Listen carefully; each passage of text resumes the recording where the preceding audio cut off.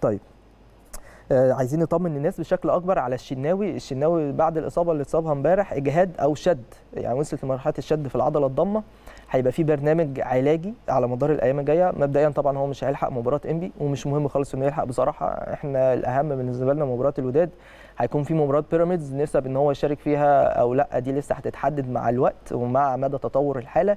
لكن الهدف والبلان والخطة بالنسبة للجهاز الفني النادي الأهلي إن هم يجهزوا الشناوي لمباراة ال- الوداد. بإذن الله على يعني على ما نوصل لمباراة الوداد هيكون جاهز بنسبة 100% للمشاركة في هذه المباراة. هو طبعا بعد ما اتصاب امبارح كان أجرى أشعة. الأشعة دي أثبتت إصابته بالشد خفيف في العضلة الضمة. نتمنى له العودة سريعا. أحد أبرز نجوم ال- الكرة المصرية خلال الفترة الحالية هو الشناوي طبعا وأحد أبرز نجوم النادي الأهلي وأبرز نجوم القارة كمان في مركز حراسة المرمى.